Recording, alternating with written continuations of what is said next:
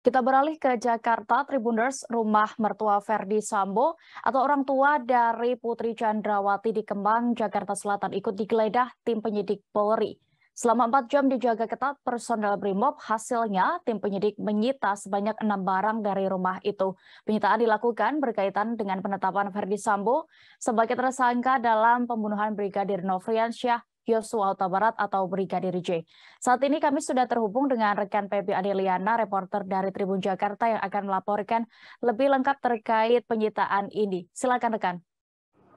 Ya, Deas, uh, tim penyidik dari uh, Polri telah menyita sejumlah barang yang diduga sebagai barang bukti dari uh, rumah mertua Ferdi Sambo yang ada di kawasan Kemang, Jakarta Selatan.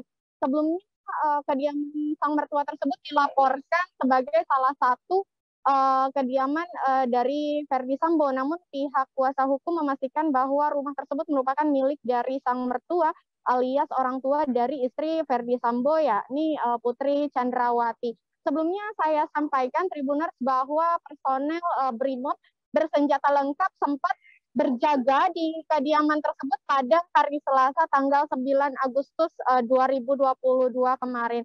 Memang menurut pantauan kami terdapat uh, beberapa petugas berseragam uh, polisi dan juga BRIMOB dengan seragam loreng lengkap dengan senjata uh, berjaga ketat di sekitaran kawasan kediaman mertua Ferdi Sambo yang ada di Jalan Bangka 11 Kemang Jakarta Selatan begitu.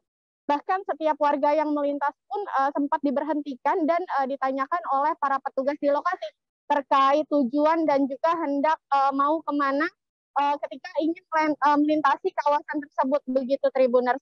Dan uh, menurut pantauan kami uh, penjagaan ketat tersebut dilakukan hampir sekitar 4 jam lamanya di mana menurut petugas keamanan sendiri uh, penjagaan tersebut dilakukan sejak uh, pukul 16 waktu Indonesia Barat kemarin dan uh, anggota BRIMOB pun mulai terlihat membubarkan diri sekitar setengah delapan malam begitu. Uh, dapat kami uh, sampaikan bahwa uh, tim kuasa hukum sendiri mengatakan dari uh, saat pengamanan tersebut juga dilakukan uh, penggeledahan uh, yang dilakukan di kediaman uh, mertua dari Verdi Sambo pada hari Selasa kemarin. Nah hasilnya uh, terdapat enam barang milik Verdi Sambo yang uh, diamankan disita oleh tim penyidik dari rumah tersebut. Di antaranya ada baju dan juga sepatu milik uh, Ferdi Sambo yang diduga ada hubungannya dengan peristiwa penetapan uh, beliau sebagai tersangka begitu Dea. Meski begitu dari uh, pihak pengacara sendiri masih belum mengetahui alasan mengapa barang-barang tersebut disita. Namun uh, yang pasti penyidikan tersebut terkait dengan uh, penetapan FS sebagai tersangka dan diduga barang-barang tersebut ada hubungannya dengan kasus tersebut begitu deh. Untuk informasi lengkapnya kami juga sudah mewawancarai uh, pihak pengacara dari Verdi Sambo. Demikian. Baik, Tribuners berikut kami tampilkan hasil wawancara rekan PB bersama kuasa hukum Verdi Sambo. Irawan selengkapnya kami tampilkan.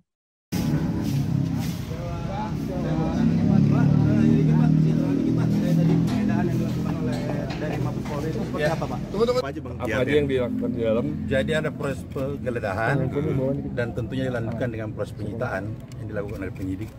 Ya ini prosedur standar lah untuk proses pengungkapan suatu kasus. Hmm. Jadi hanya sebatas itu yang dilakukan dan itu ada berapa ada enam item ya item yang sempat disita. Sita. Apa aja bang bisa disebutkan bang? Sepatu, baju dan ada beberapa hal lagi ada enam item lah. Milik, Milik baju seragam atau ya, seperti apa? Mungkin yang diduga terkait dengan perkara ini lah pasti. Alasan menye alasan menggeledah rumah ini apa bang? Ini rumah apa pas tes PCR atau gimana bang? Bukan, ini ini sebenarnya rumahnya mertuanya Pak Ferdi.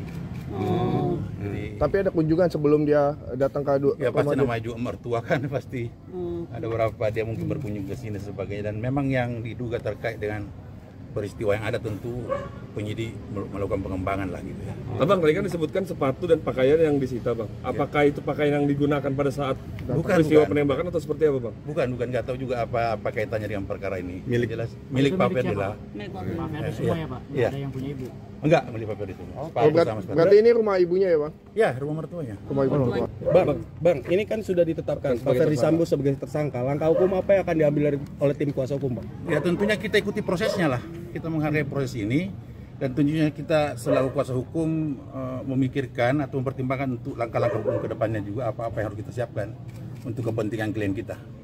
Hmm. Seperti itu aja ya. Oke, okay, Terima kasih sudah nonton. Jangan lupa like, subscribe, dan share ya.